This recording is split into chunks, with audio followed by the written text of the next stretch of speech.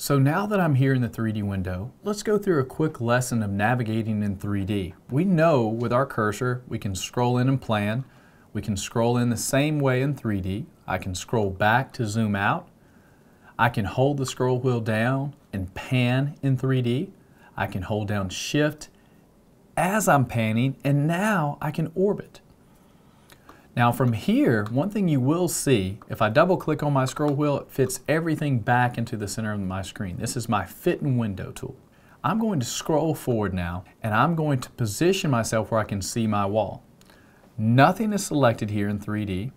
If I rest on the bottom of the wall, I'll get my Mercedes icon to appear. So my cursor's reading Mercedes, that tells me I'm on the edge or the plane of the wall. And just like in plan, in 3D, I can't be anywhere else on the wall. I have to have a Mercedes. If I hold down the command key on my Mac, control on my Windows, I can trim that wall back. If I select this wall by shift clicking and then orbit around where I can see the plane that I want to extend that to, and I rest on the bottom of the wall here, I'll rest right here and as I hold down Command on my Mac, Control on Windows, I can extend in 3D just like I did in Plan. I'm going to deselect now. I'm going to scroll out just a little bit and I'm going to hit my F2 key on my keyboard to jump back into my plan view. And all the changes that I've made in 3D now reflect back in plan. Now from here, what I'd like for us to do next is I'd like for us to come back in and draw a simple wall out in the middle of this space. You can choose to move wherever you like, but I'm here inside of one of these rectangular shapes that we just created. I'm going to go to a singular geometry method and I'm going to draw a straight wall. I keep this wall short for an exercise that I want to point out to you. On the wall tool, when I rest on the edge of a wall, I have a dark Mercedes and I have a light Mercedes. The dark Mercedes is the reference line side of the wall. The light Mercedes is the non-reference line side of the wall. When walls clean up, the reference lines must touch. This wall, I have a dark Mercedes on the left-hand side of my vertical wall, and as I rest here, I'll see that it's not the inside face of my wall, but the exterior face of this wall, this top face of this wall, that is the reference side of this wall. So from here, what do I want to do?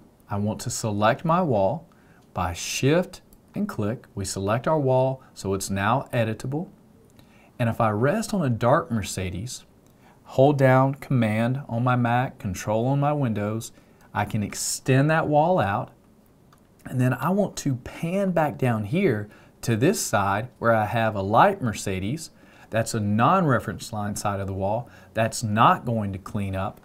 By holding down Command on my Mac, Control on my Windows, I can click. I'm on the wall tool. I have my wall selected. It extended to the inside face of the wall.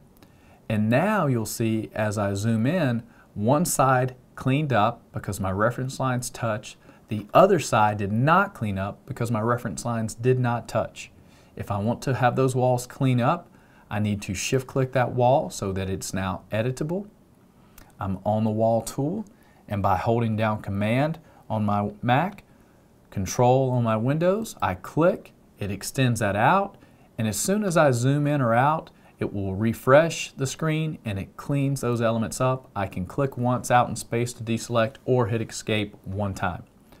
Now, we are using these tools on a number of different commands throughout the entire modeling process within ArchiCAD.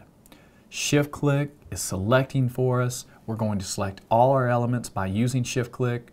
We're going to command click with elements that we want to trim.